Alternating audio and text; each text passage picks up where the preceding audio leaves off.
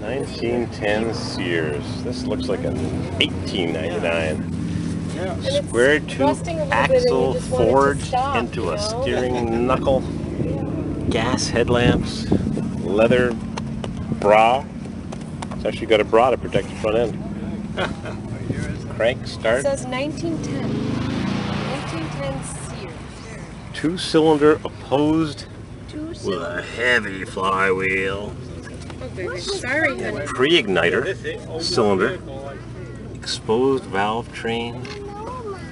Two fans, air cooled. Drip. Little cup for the gasoline. Get a little gas in those cylinders. Hard to even describe what this is. Sears, there's the brass tag. Model AE number 3402 or something.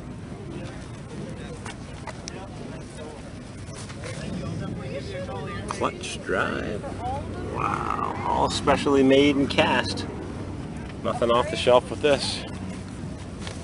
Oak wheels maybe. Clamps around the spokes for the chain drive sprocket. Internal expanding brakes. There's some asbestos in those. 1910 Sears.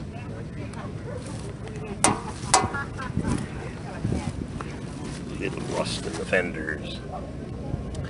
Totally original.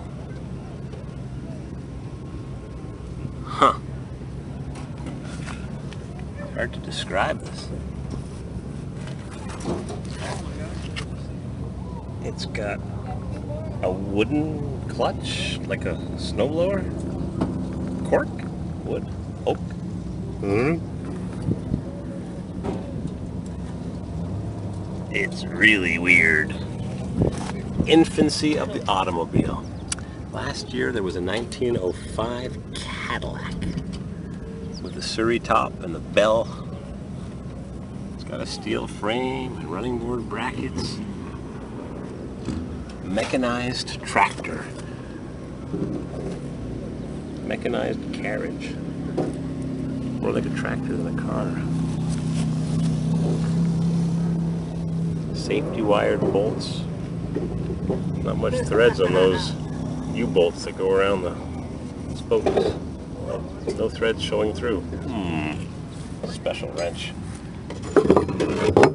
Okay, the One wrench does everything. Cars are now lining up, uh, about to approach the exit from the field, and we have done very well this year in keeping in order and having a nice orderly parade.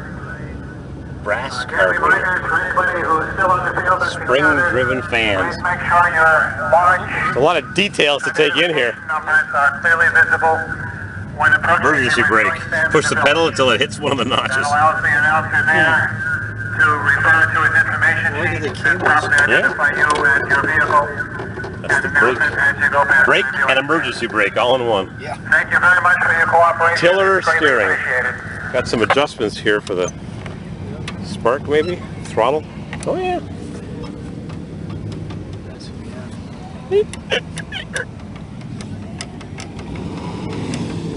Send the rod over to do the timing or adjust the valve intake. I don't know. It's got a wooden clutch, like a snowblower. You have to look underneath to see it. Oh, That's yeah. how you select Yep. your speeds. One disc against the other. Yep. Oh yeah. So it's uh, wherever that's how far it is from the center. Yep, just like my snowblower. Dual, it's got posi, dual chain drive, dual exhaust. Taylor would like to speak with you at the registration desk. It's amazing that it survived, huh? Otherwise occupied. Thank you. One taillight, dual exhaust, original mufflers, all original. It's just incredibly original. Yeah. Brakes on both back wheels. How did it survive? 104 years. Sears model model H number 3409. It's a 409. Ignition system, spark plugs, ignition wires, fuel cups, crankshaft, crank cover. Leaks a little oil. Wow. He's got one thing that's added. This. Yep. Not too bad after a hundred years. One little switch. Interesting. You think they really made like 3,000 of these? I don't know. It says model 3409 or number 3409. I don't know. Probably. It was a really popular contraption. Yeah, you don't have to muck it out. Dual springs. A lot of proprietary casting stuff. Stuff made just for this vehicle. Certain things were probably off the shelf. The running board. This is amazing. it's so primitive. Yeah, you kind of wish you could drive it around. All right, we had our fun with our tiller steered 1910. Ooh. Needs a little tightening right there. Amazing. 1910 Sears. Probably came in a box, some assembly required.